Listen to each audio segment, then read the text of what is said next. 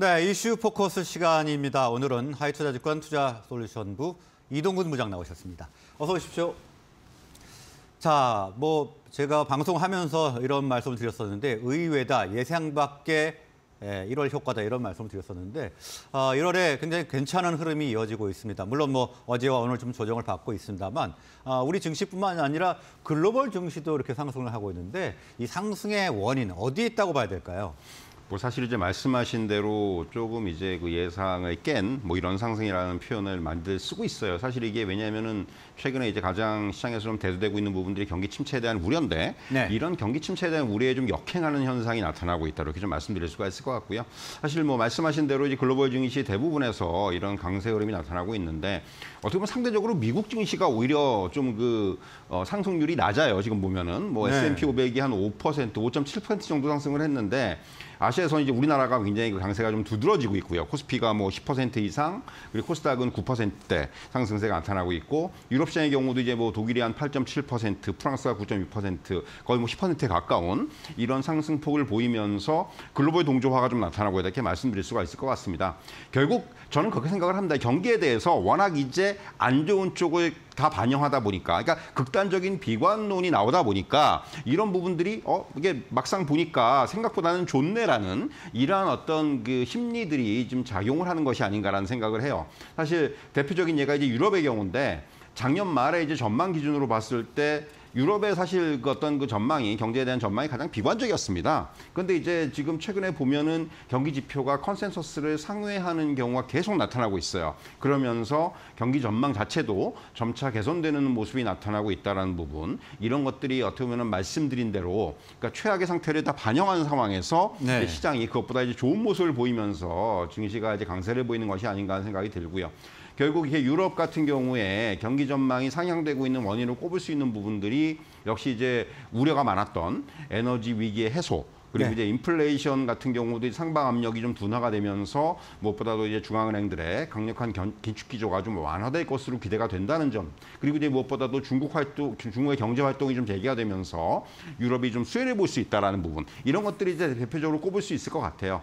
사실 이제 뭐 상대적으로 작년에 그 미국 증시가 미국의 어떤 경제 상황이라든가 증시라든가 이런 부분 전반적으로 여타 시장에 비해서 뭐 압도적으로 우위를 보였는데 올해는 사실 지금 어떤 그 연초의 흐름들을 보면은 어떤 미국 일방에서 이제는 조금 뭐 유럽이라든가 아시아라든가 이머징이라든가 이런 쪽으로 좀 이제 폭넓게 좀 이제 이런 흐름들이 좀 퍼지는 이게 좀 확대가 되는 이런 모습들이 연출이 되지 않겠는가 이런 기대를 해볼 수 있을 것 같습니다. 네, 이런 글로벌 증시의 상승은 일단 각국 중앙들의 긴축에 대한 완화 그리고 중국 경제에 대한 재개에 대한 기대 심리가 때문으로 작용했다 이렇게 분석을 해봤고요. 자 그러면 어, 우리 증시의 상승 배경에는 아무래도 외국인의 어, 매수세가 아닐까 싶습니다. 작년까지는 그래도 좋지 않았는데 올 들어서 이렇게 외국인의 매수세가 몰린 배경 어디에 있다고 봐야 될까요? 사실 이제 연초 이후에 외국인이 코스피 시장에서 거의 7조 정도의 순매수를 기록을 하고 있는데 네. 이게 이제 작년 1년 동안에 외국인이 코스피에서 순매도한 규모가 한 7조 2천억 정도 되거든요. 거의 한 달 만에 작년 매도 부분을 거의 다 이제 만회를 한 이런 상황이에요. 네. 이게 1개월 기준으로 봤을 때 역대 한 세 번째 정도의 규모입니다. 그만큼 지금 1월 달에 외국인의 순매수는 상당히 특징적인 부분이 있었다 이렇게 말씀드릴 수가 있을 것 같고요. 결국 이제 외국인 매수의 배경을 좀 꼽아보면은 일단 그 달러 약세를 꼽을 수가 있겠죠.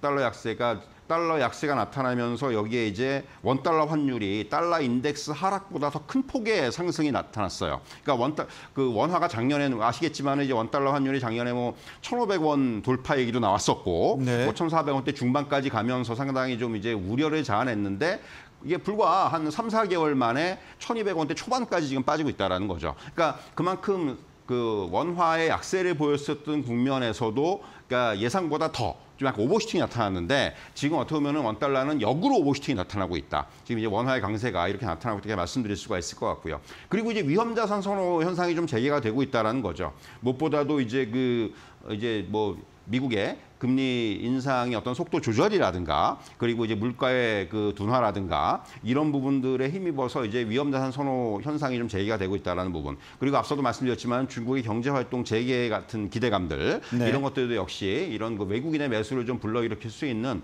요인으로 작용하고 있다 이렇게 말씀드릴 수가 있을 것 같고요. 또 이제 조금 앞선 감은 있지만은 외국인의 매수를 MSCI 선진국 지수 편입 기대감과 연결하는 분위기도 최근에 감지가 되고 있어요. 네. 무엇보다도 이제 최근에 정부에서 주식시장 제도 개선이라든가 그리고 이제 외환시장 제도 선진화 방안이라든가 이런 것들을 추진을 하면서 결국 이러한 그 제도의 개편안이 그동안 이제 우리나라 증시가 MSCI 선진국 지수에 편입되지 못했던 걸림돌을 좀 제거하는 어떤 이제 정책이다. 이런 점에서 일단 만약에 이런 제도 변경이 좀 구체화가 될 경우에는 아무래도 이제 결국은 어떤 그 선진국 편입의 어떤 대한 가시화가 좀 되지 않겠는가 이런 기대감까지도 좀 시장에서 반영하고 있는 것이 아닌가 이렇게 좀 말씀드릴 수 있을 것 같습니다. 네, 여러 가지 기대감이 작용을 하면서 외국인의 매수가 유입이 됐는데요. 자, 이제 FOMC가 바로 눈앞에 다가왔습니다. 아무래도 금리 인상 부분에 대해서는 baby step을 밟을 것이다 이런 전망이 좀 우세한 것 같은데 FOMC에 대한 전망을 좀 해주시고요. 그 밖에 주요 일정도 좀 체크를 해볼까요? 사실 이제 말씀하신 대로 이번 그 연준의 FOMC에서는 금리의 0.2% 0.25% 인상을 거의 확신하는 분위기예요. 뭐 물가 상승률의 둔화 속에서 연준의 고강도 긴축이 조금은 누그러질 수 있는 그런 여건이 조성되고 있는 상황이고요. 다만 뭐 어제 같은 경우도 뉴욕 증시에서도 그런 뭐 얘기들이 좀 나왔는데 금리의 속도 조절에 대한 기대 속에서도 연준은 여전히 어떤 커멘트라든가 이런 걸 통해서는 매파적인 기조를 유지할 것이다. 네. 이런 이제 얘기들이 나오고 있죠. 왜냐하면 이제 그 뭔가 시장 위험에 균형을 맞추기 위해서 너무 연준이 여기서 좀 풀어주는 모습을 보였다가는 시장이 좀 오판할 수가 있다라는 거예요. 그것 때문에 사실은 금리 인상 속도 조절을 단행하면서도 시장에는 긴축이 아직까지 완료되지 않았다는 메시지를 주면서 시장에서 지금 반영되고 있는 어떤 올해 말 뭐 금리 인하의 기대라든가 이런 부분들을 조금은 꺾는 이런 형태의 어떤 그 언급들이 나오지 않겠는가 이런 뭐 지금 그 전망들이 좀 강하게 대두가 되고 있고요. FOMC 못지않게 지금 중요한 것은 기업 실적 발표입니다. 특히 이번 주에는 이제 애플을 비롯해서 뭐 아마존이라든가 알파벳이라든가 이런 big tech 종목들의 실적 공개가 예, 예정돼 있고 또 GM이라든가 포드 같은 자동차 업체들의 실적도 예정이 돼 있습니다. 아시겠지만 이번 사실 그 4분기 실적에 대해서는 최근 몇 년 동안 가장 좀 부진한 이런 전망들이 나오고 있죠. 네. 그러니까 어떻게 보면은 이런 부분들이 얼마나 시장에 계속해서 어떤 지금 시장에서 우려하고 있는 경기 침체에 대한 우려로 연결이 될 수가 있기 때문에 역시 이번 실적에 대해서 특히 빅테크들의 실적에 대해서는 상당히 이번 주에 좀 관, 관심을 가지고 확인할 필요가 있다고 말씀드릴 수가 있겠고요. 이번 주 금요일에는 미국의 1월 비농업 부문 고용 지표도 발표가 됩니다. 예상치는 신규 고용이 한 19만 명 증가하고 실업률은 한 3.6% 정도 기록해서 전망이 되는데 이런 그 고용에 대한 얘기들, 고용에 대한 지표들은 연준의 정책 결정에 가장 크게 영향을 줄 수 있는 그런 지표라는 점에서 역시 이런 고용 지표의 추이도 주목을 할 필요가 있다. 이렇게 말씀드릴 수가 있겠습니다. 네. 아, 파월 의장이나 연준 관계자들의 매파적 발언이 유지될 가능성이 있다 이렇게 말씀을 해주셨고요. 아, 경제 지표 그리고 빅테크 기업들의 실적도 어, 체크를 해보자 이렇게 정리를 해주셨습니다. 자 그리고 우리 증시를 보면은 어, 상승세를 이어가다가 어제 6일 만에 하락을 했고요. 오늘 뭐 약보합세 정도 나타나고 있는데 앞으로 전망 어떻게 하면 좋을까요? 말씀하신 대로 일단 지금은 조금 숨고르게 이제 들어갔다라는 말씀 드릴 수가 있을 것 같은데요. 뭐 네. 사실 2,500선 코스피 2,500에서 한 2,550 정도가 굉장히 그 강력한 그 저항대라는 거죠. 한 6개월 정도 계속해서 여기서 고점을 못 뚫는 2,500을 돌파하지 못하는 흐름들이 나오고 있었기 때문에 결국 이런 당분간은 결국 조금 더 어떤 뭐 시장의 에너지라든가 이런 부분들을 보강하면서 이를 돌파하는 어떤 시도들이 나타나지 않겠는가 이렇게 말씀드릴 수가 있을 것 같고요.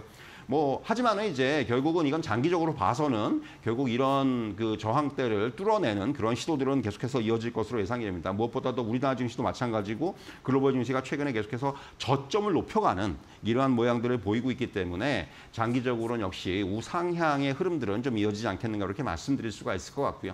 뭐 일단 단기에 지- 시장이 많이 올랐기 때문에 지금은 사실 지수에 대해서는 조금은 부담을 가질 수 있는 상황입니다. 네. 뭐 여러 가지 뭐 이제 또 그 valuation에 대한 얘기도 나올 수가 있고 실적에 대비해 봤을 때 그렇기 때문에 역시 뭐 제가 이전에도 그런 말씀 많이 드렸습니다만은 시장은 여전히 뭔가 종목에서의 어떤 순환매 그리고 종목 장세 지금 뭐 시장에서 강- 가장 극명하게 나타나는 그 특징이 종목 장세라고 할 수가 있는데 이런 흐름들은 계속해서 좀 연장이 되지 않겠는가 이렇게 말씀드릴 수가 있을 것 같고요. 네. 결국 그렇다면은 뭔가 실적과 관련된 업종들 뭐 종목들 그리고 신기술 또 신분야 최근에 AI라든가 이런 쪽이 올라오는 것과 마찬가지로 결국 이게 차별화된 성장주 그리고 정부 정책 관련주 이런 쪽에서 계속해서 종목을 찾는 작업이 이어질 필요가 있다 이렇게 정리해 드리도록 하겠습니다. 네, 그동안 좀 많이 올랐기 때문에 당분간은 체력을 비축하고 다시 2,500선 돌파를 시도하는 작업이 일어날 것이다. 이렇게 분석을 해 주셨고요. 장기적으로는 우상향을 그릴 것으로 정리를 해 주셨습니다.